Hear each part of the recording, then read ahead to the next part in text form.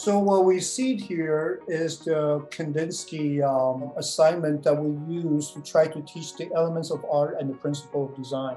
One of the curricular things has to do with perception, which the more you look, the more you see.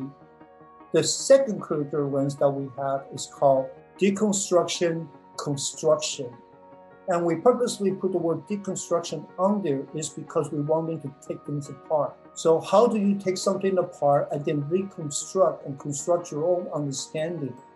So those are the two curricular things that is basically the foundation of this lesson. So I was able to create this very easily. I mean, I grabbed the JPEG, right, of the Kandinsky painting that we used first for the first, you know, kind of a poster, posted assignment collaborate to create an image inspired by Kandinsky, use the elements of art and the principle of design, okay?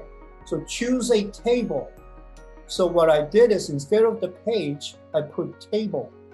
We are in the virtual classroom, but our reference is still in the physical classroom. And the reason why the physical classroom is so important is because it allows us, even if it's in our minds, a kinesthetic experience of what learning is.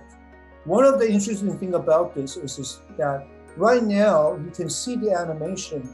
That is part of the function that Canva has basically kind of incorporated as one of the tools to make your design, to animate something.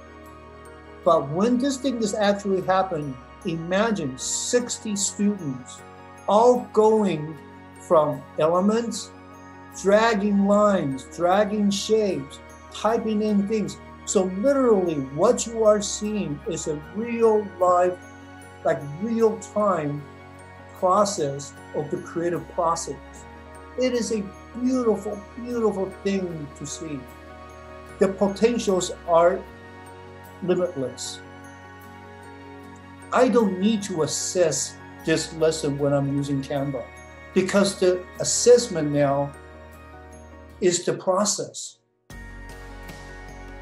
the assessment is not at the end of the lesson at a dead stop point.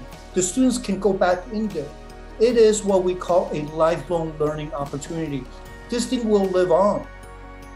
When they go to college, they still have this account. They can go in there and play around, invite other people.